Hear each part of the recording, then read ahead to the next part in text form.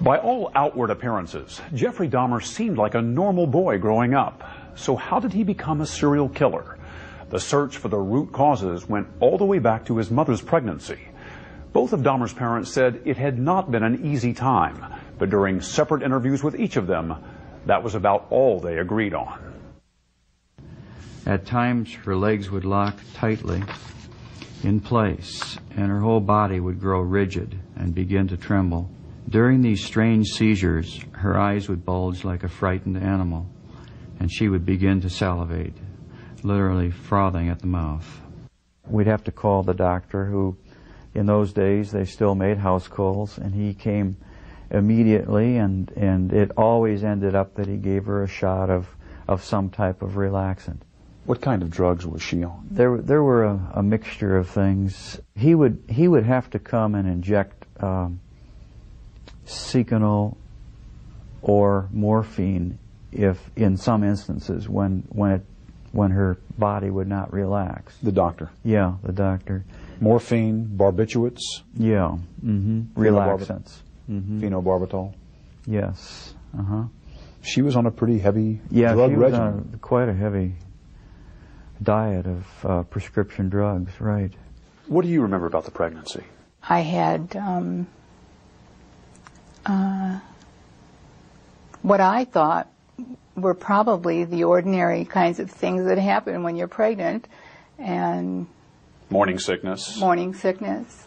a lot of nausea. Yes, Lionel describes a, a, a strange, undiagnosed problem. He describes it as some kind of a seizure that you developed, uh, uh, proneness to seizures late in the pregnancy, where you. Had, he describes it as a kind of rigidness for which you were prescribed medications. Do you do you remember that, and can you describe I don't remember that at all. I don't. I can't imagine where that comes from.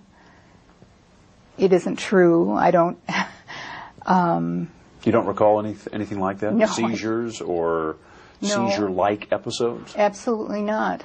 Were you prescribed medications, including morphine, barbiturates? Eh, I don't know what medications were prescribed, and I'm surprised that anyone says that there is something um, that lists every single medication I took 33 years ago. Um, I, I had a doctor, a physician. I took the medicine that was prescribed for me, and for the most part, I was healthy. you weren't on morphine? You don't, I don't think you give pregnant women morphine.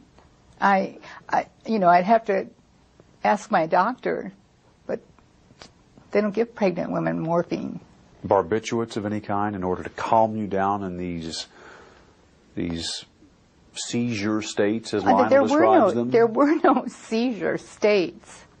Where's I don't know where that's coming from. Well, Stone, I don't know. And it's one of the reasons why I'm finally speaking out because um, there were no seizures. There was nothing um, that was out of the ordinary as far as my pregnancy was concerned, except that I needed to be in bed. There's an obvious discrepancy here between what you're saying and what Lionel is saying about the about the nature of the pregnancy. It was difficult, you both agree, but but he describes you in these states where you were, as he says, literally frothing at the mouth. In Are these you rigid- serious?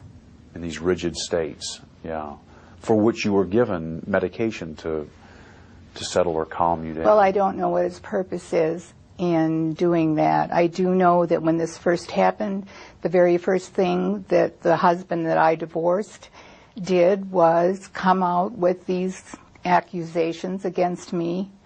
They're not true. Well, I don't know how I can prove it to you that they're not true. Is it um, possible you just don't remember them? No, it's not possible. I don't remember them. It was my first pregnancy. I remember everything about my first pregnancy. there's a an important point you want to talk about that you that you really want to make, and, and is the reason why you've come on. So let's talk about that. Thank you. I appreciate that very much, Stone, because I'm really feeling like uh, the questions that I've been asked so far are exactly the reason why I wanted to come on, exactly the reason why I want to write a book tentatively titled An Assault on Motherhood, and that's exactly how I feel, like I'm being assaulted by, by uh, statements that can't be substantiated, that uh, that people have said are not so, but here I am once one more time having to defend myself. I want to get across that we as women just can't take this kind of thing anymore. If something bad happens to our son or our child, there has to be a place for us to go. I want a place for um,